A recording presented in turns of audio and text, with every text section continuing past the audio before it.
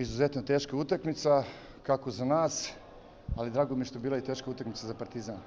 Iz prostog razloga što smo pružili, uh, što smo u stvari odigrali i bili dobar partner u, u, u ovoj utakmici. Znači nismo samo pružili otpor, nego mislim da smo bili i dobar partner za igranje.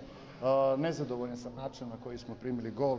Mislim da to segment igre u u kojem bi trebalo da budemo jači od Partizana, međutim danas to nismo uradili. Uh, imamo još vremena, tu smo tek nedelju dana, ovakve stvari ne sme da se dešavaju. Iz prostog razloga očekivali smo možda iz polja ili na individualni kvalitet gde Partizan trenutno jači. Očekivali smo na njihovu uigranost, iz prostog razloga što je tu Marko već duže vreme.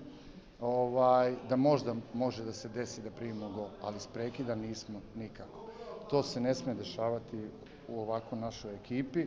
Inače, što se tiče ostalih stvari, momci su dosta dobro parirali, dosta dobro igrali, posebno u prvo, prvom delu ovaj, prvom delu utakmice, znači prvi 45 minuta. Mislim da to treba da bude reper i pokazatelj ovim momcima ovaj, šta mogu i koliko mogu.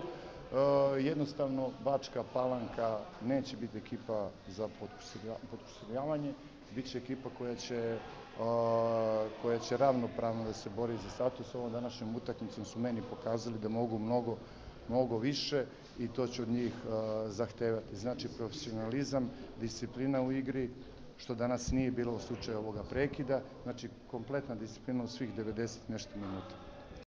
je viđena jedna ne agresivna, nego neobično gruba igra, gruba igra sa puno prekida, sa ogromnim brojem faulova i tu se nismo dobro snašli. Onda u polovremenu smo pokušali da ostanemo mirni, da napravimo jedan dobar sastanak, da tu loptu spustimo što je to više moguće dole, da organizujemo igru iz zadnje linije i tada su počele da se ređaju šanse koje su nažalost ostale neiskorišćene, pa čak i prazan go je promašen. Međutim, iz tog prekida koji jeste neka karakteristika naše igre, a imali smo ih zbog te grube igre protivnika i defanzivne i što kornera, što slobodnih udaraca, danas zaista mnogo. Jedan od tih prekida je urodio plodom i mislim Partizan potpuno zasluženo danas ovde odno tri boda, jer ako se ne varam, sem ovog prekida u zadnjoj minuti da Bačka nimala ni jedan udarac ka golu, a ne uopšte u okvir gola celu utakmicu. Tako da Tako da je jedna teška pobeda, teška, ali važna, ovakve utakmice treba, treba pobeđivati. Teren im nije bio danas u nekom najboljem stanju, vjerojatno ste mogli da primetite i vi sa tribina. Pretpostavljam posledica ove utakmice koja mlada reprezentacija igrala ovde. I sad ulazimo u tu fazu sezone, evo još ovih pet utakmica kada kada će i ne samo taj kvalitet neki, nego i karakter i neka borbenost donositi ili odnositi bodove. Tako da sam veoma zadovoljan što smo večeras u ovoj utakmici, jako teškoj utakmici došli do veoma važna tri boda. Pa ne znam, ja sam video tek posle pa sam razdvojio tu gužvu, a video sam da su ljudi iz Bačke na našoj klupi praktično, tu negde sad. Tu je bila neka gužva na terenu između Evertona i ovog njihovog igra. I cela utakmica bila mislim protivnik je imao želju da uvede u, u, u taj režim. Nama to ne odgovara kada igramo ovde protiv takvog protivnika, nama treba da se igra futbala, ne da se bijemo po terenu i ja sam pokušao da učinim sve da mi budemo što mirniji, što je u drugom polovremenu uspelo više nego u prvom, u prvom manje, a ovo iza mene nisam video najbolje.